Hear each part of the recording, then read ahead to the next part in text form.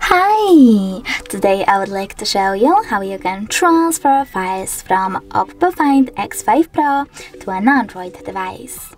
First of all, go into Play Store on both of them and tap on the search bars. Then you need to type in Send Anywhere and download this app from this developer.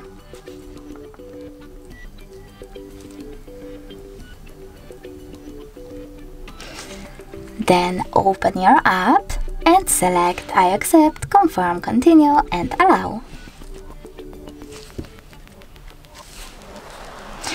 Now we can finally select receive on an Android and send on Oppo. Then tap on all of those type of dots and choose send.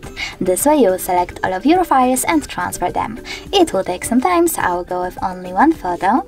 For example, that one, just send and tap on got it.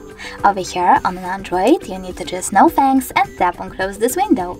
Now as you can see, we have two ways to connect. We can scan this QR code by tapping on the scanning icon on an Android, choosing allow in the pop-up and pointing our camera at the code, but we can also just input this key over here and choose receive. Now after a couple of seconds, my photo was successfully transferred. Thanks so much for watching. If you enjoyed this video, leave a like, comment and don't forget to subscribe. Bye!